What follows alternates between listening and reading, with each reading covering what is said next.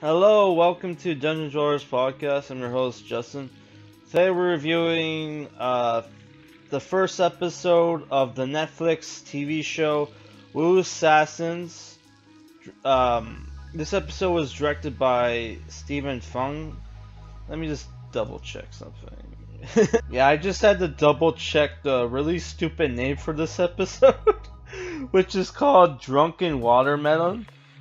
Um, so what this uh, TV show is about. I, I had heard this was supposed to be a superhero TV show starring um, UK you sorry Yuko Uwais from the Raid movies, right? Who's an Indonesian actor. He plays Kai Jin, who's this chef working in Chinatown in San Francisco. Uh, what happens is he gets he's the son of um, the triad uh, triad boss, which is the triad is like the Chinese mafia, if you didn't know, that runs uh, San Francisco, who's played by Brian Mann, who uh, Brian Mann, yeah, uh, that's his that's his name. That sounds man, man with two N's, eh? is he like is he Chinese Jewish or something? oh, the line at the bank was so long today. Sorry, that's a Come Cumtown bit. Um, yeah, he he plays Uncle Six. So what happens in this uh, TV show is uh, our main character gets in trouble with the local triads when when he cooked a dish that accidentally had peanuts in it, and the guy had a peanut allergy. Uh, guys should probably know not to put peanuts and and like uh, food because you know a lot of people have peanut allergies. but you, whatever, right? So this pisses off the triads. Um, they send guys to kill him. As that as that is going on, he discovers that he is the Wu assassin who has the monk piece. The monk piece is this talisman that has the power of a thousand monks, and he's tell uh, told by this uh, Wuxia like chick, Wuxia being like Chinese fantasy bullshit. Uh, this Wuxia chick that uh, she that he has to go and kill this the five warlords, right? And the five warlords are these guys with that have the powers of the different uh, Chinese elements, which is fire, water, wood, metal, and I think air. I'm not 100% sure on that. Yes, and uh, at the end of the episode, we find out his dad is one of the one of the um, elements, right? Which is um, fire. yeah. So this uh, also like the there there's this chick who's very stupid. Who's played by Katheryn Winnick. I think she's the chick from Vikings. Yeah, she is the Vikings uh, chick from Vikings, who's trying to infiltrate one of the gangs, uh, triad gangs.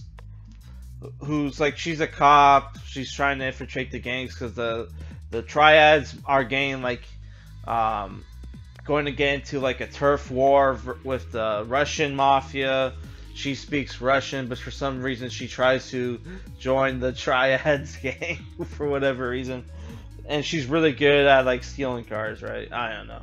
So I don't know. The story is a little retarded in my opinion, but like you know, we don't want we don't, we're not watching this for the story. We're watching it for the action scenes, right?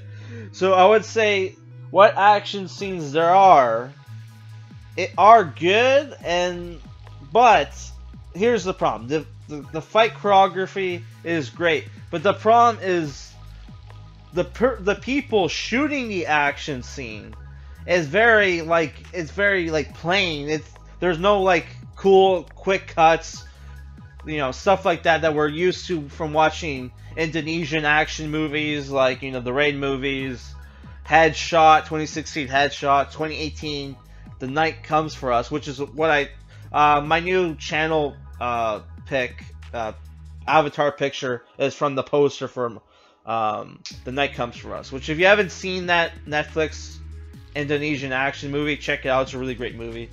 Um, yeah, I, I don't know. the action scenes, the fight choreography was great. How they shot it was kind of plain, boring. Um, and there's like really shitty music choices, like a lot of pop songs, a lot of like you know, um, like shitty like shitty music. Okay, I can't even remember. Um, yeah, so like I don't know, like the acting was okay. You Yuko Uwais's English is a, a lot better here than in like other movies where I've seen him do English, uh, speak English. Sorry. uh, yeah, and there's the whole thing where like uh, he's like, um, they explain like, oh, he the reason why you have this Indonesian actor playing like this Chinese guy is like, uh, he, they explain, oh, he his mother was Indonesian, right? But he, right, which I don't know why they have to have him be like the the the triad's like son. I don't know, triad triad boss's son. Like, could they have not? Written like a role for for an Indonesian uh Asian, Asian sorry Indonesian like actor like because it's just it comes off kind of dumb like oh, this this random like triad uh guy from from San Francisco just happened to um marry like an Asian an Indonesian woman like okay that's that seems a little weird to me but whatever, right? I don't know, dude. Like, I'm I might if we get decent enough views on this uh, video, I might continue watching the show. But I kind of have no interest. Uh, though we did get a cameo from Mark DeCal uh, uh, Dacascos, which is uh, the star of one of my favorite anime live action movies, Crying Freeman, which uh, Fun fact, the guys who worked on the Crying Freeman